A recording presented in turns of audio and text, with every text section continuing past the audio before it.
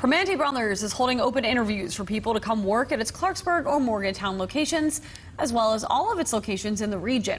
Applicants who come in for an interview will also be given a free sandwich, it's a nice perk, or a voucher to receive a sandwich later. Officials at the restaurant say it's about making sure new employees get a good impression of the workplace.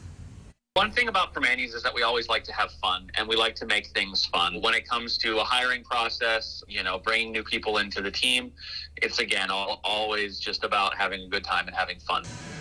Interviews will be held tomorrow and next Thursday from 11 until 8 with positions available in both the front and back of the restaurant.